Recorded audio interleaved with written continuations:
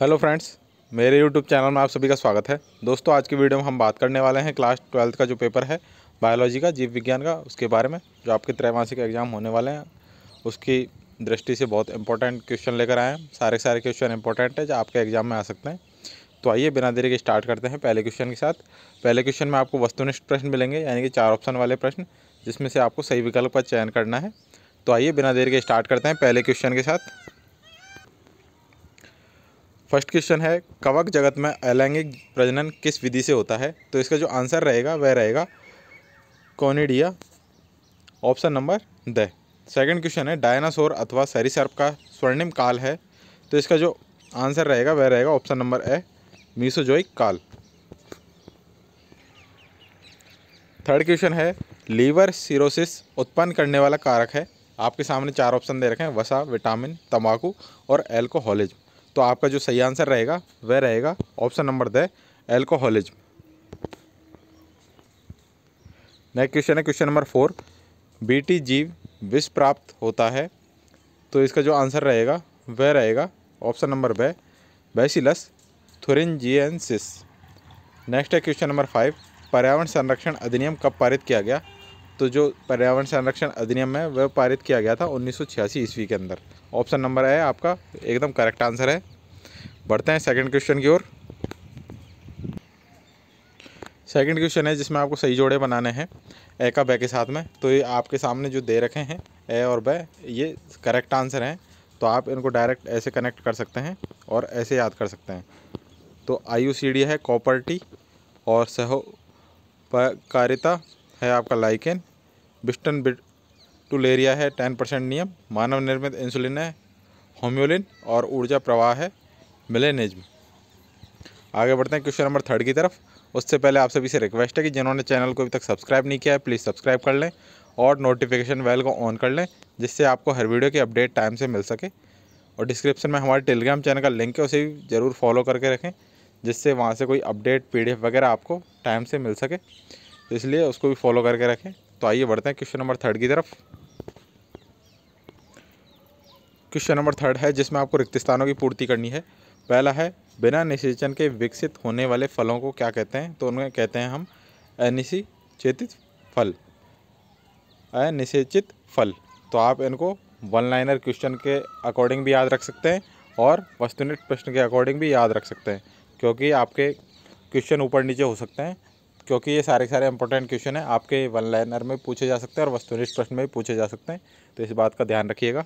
Second question है, वंशागति का क्रोमोसोमवाद का सिद्धांत, खाली जगह और थियोडोर बोवेरी द्वारा प्रतिपादित किया गया। तो इसका जो आंसर रहेगा, वह रहेगा सटन और थियोडोर बोवेरी द्वारा। थर्ड नंबर क्वेश्चन है, किसी कोशिका कर्तोत्तकी से पूर्ण पादप में जनित्र होने की क्षमता खाली जगह कहलाती है तो यह कहलाती है पूर्ण सतता। फोर्थ क्वेश्चन है, प्रतिबंधन एंडोन्यूक्लियज एंजाइम डीएनए में विशिष्ट खाली जगह पहचानता है तो यह पहचानता है अनुक्रम। क्वेश्चन नंबर फाइव है, विशाल अमेजन वर्षा वन को क्या कहा जाता है तो इन्हें कहा जाता है पृथ्वी का फेफड़ा। बढ़ते हैं क्वेश्चन नंबर फोर की तरफ़। क्वेश्चन नंबर फोर में आपको एक शब्द या एक वाक्य में उत्तर देना है। तो पहला प्रश्न है आपका, ग्रेफियन फॉलिकल से अंड के बाहर निकलने की प्रक्रिया क्या कहलाती है? तो यह कहलाती है अंडोत्सर्ग।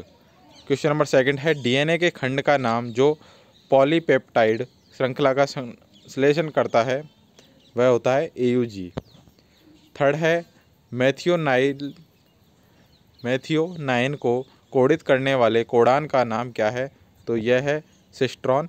फोर्थ क्वेश्चन है, मछली पालन को क्या कहते हैं? तो मछली पालन को कहते हैं हम pisciculture. Question number five है सूक्ष्म जीवों द्वारा कीट या खरपतवार नियंत्रण पद्धतियों को क्या कहते हैं? तो इसका जो आंसर है, वह है जैविक नियंत्रण। अब लॉन्ग क्वेश्चन स्टार्ट हो चुके हैं तो आइए स्टार्ट करते हैं पहले क्वेश्चन के साथ। क्वेश्चन नंबर पाँच है, क्या कारण है कि मनुष्य के वृषण उदर गुआ के बाहर स्थित होते हैं। तो इसका जो आंसर है नर में एक जोड़ी वृषण। उधर गुआ के बाहर पाए जाते हैं, जो स्क्रोटम में बंद रहते हैं। शुक्राणु निर्माण के लिए तापक्रम, शरीर के तापक्रम से दो डिग्री सेल्सियस कम होना आवश्यक है। अन्यथा स्पर्मेट्रो जेनेसिस द्वारा शुक्राणु के निर्माण की क्रिया पूर्ण नहीं हो पाएगी। इसी कारण वृषण का उदर गुहा से बाहर होना आवश्यक है। क्वेश्चन नंबर सिक्स है गायक संकरण किसे कहते हैं? एक उदाहरण दीजिए। तो ये गायक संकरण नहीं है, यह है कायिक संकरण। तो इसको काट के कर ले, कायिक संकरण। तो इसका आंसर है, वैज्ञानिकों ने पादपों से एकल कोशिकाएँ अलग की हैं तथा उनकी कोशिका भित्ति का पाचन हो जाने से प्लाज्मा झिल्ली द्वारा घिरा नग्न प्रोटोप्लास्ट पृथक किया जा सकता है। प्रत्येक किस्म में वांछनीय लक्षण विद्यमान होते हैं। पादपों की दो विभिन्न किस्मों से अलग किया गया प्रोटोप्लास्ट युग्मिक युग्मित होकर संकर प्रोटोप्लास्ट उत्पन्न करता है, जो आगे चलकर एक नए पादप को जन्म देता है। यह संकर का एक संकर कहलाता है तथा यह प्रक्रम एक संकरण कहलाता है। तो दोस्तों, ये लॉन्ग क्वेश्चन है। इनको हम पढ़ के बोलेंगे, इससे अच्छा है, आप इन सबके स्क्रीनशॉट लेते रहें। आपको क्वेश्चन दिखा देते हैं, आप उनके स्क्रीनशॉट लेते रहें। तो क्वेश्चन नंबर सात है आपका। प्रसव किसे कहते हैं? प्रसव को प्रेरित करने वाले हार्मोन का नाम लिखिए। तो इसका आंसर देखें। देखिए, कुछ पार्ट ये रहा इसका। और कुछ पार्ट ये रहा। तो इसका स्क्रीनशॉट ले लें और अपने फ्रेंड्स में भी शेयर कर दें, जिससे वो भी तैयारी कर सकें आने वाले एग्ज़ाम की। क्वेश्चन नंबर एट है, एनमियोसेंटेसिस विधि को समझाइए। तो ये आपके एनमियोसेंटेसिस विधि है। इसका स्क्रीनशॉट ले लें। क्वेश्चन नंबर नाइन है ग्रीन हाउस प्रभाव के बारे में लिखिए। क्वेश्चन नंबर दस है ओपेरॉन मॉडल क्या है? लैक ओपेरॉन की संरचना समझाइए। समझात एवं समवृति अंग में अंतर लिखिए। प्रश्न संख्या बारह है, प्लाज्मोडियम का जीवन चक्र को चित्र सहित समझाइए। प्रश्न संख्या तेरह है, प्रतिरक्षी पदार्थ की संरचना का सचित्र वर्णन करो। प्रश्न संख्या चौदह है, वाहित मल क्या है? यह हमारे लिए किस प्रकार हानिप्रद है? प्रश्न संख्या पंद्रह है, अनुप्रवाह संसाधन का चित्र सहित संक्षिप्त वर्णन कीजिए। क्वेश्चन नंबर सोलह है, लैंगिक एवं अलैंगिक जनन, सॉरी, लैंगिक एवं अलैंगिक प्रजनन में अंतर लिखिए। प्रश्न संख्या सत्रह है, एक संकर क्रॉस का प्रयोग करते हुए प्रभाविता नियम की व्याख्या कीजिए। प्रश्न संख्या अठारह है मरुद्भिद पौधों में पाए जाने वाले आकार किए अनुकूलन को लिखिए। प्रश्न संख्या उन्नीस है, खाद्य श्रृंखला का वर्णन कीजिए। प्रश्न संख्या बीस है, शुक्राणुओं की संरचना बनाइए। तो ये थे सारे इंपॉर्टेंट क्वेश्चन जो आपके एग्ज़ाम में आ सकते हैं। इसलिए सारे क्वेश्चनों को ढंग से देख लें, याद कर लें।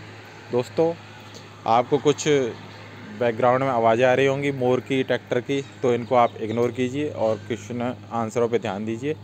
गाँव में ऐसी आवाज़ें आती रहती हैं। तो इनको इग्नोर करें और क्वेश्चन पेपर पे और उनके आंसरों पे ध्यान दें। तो ये थे सारे इंपॉर्टेंट क्वेश्चन जो आपके एग्ज़ाम में आ सकते हैं। सभी को याद कर लें, रट लें और अपने फ्रेंड्स में ज़रूर शेयर करें। और वीडियो अच्छा लगा है तो वीडियो को लाइक और शेयर करने के साथ साथ चैनल को सब्सक्राइब करना ना भूलें। मिलते हैं नेक्स्ट वीडियो में। सभी को एग्ज़ाम के लिए best of luck thank you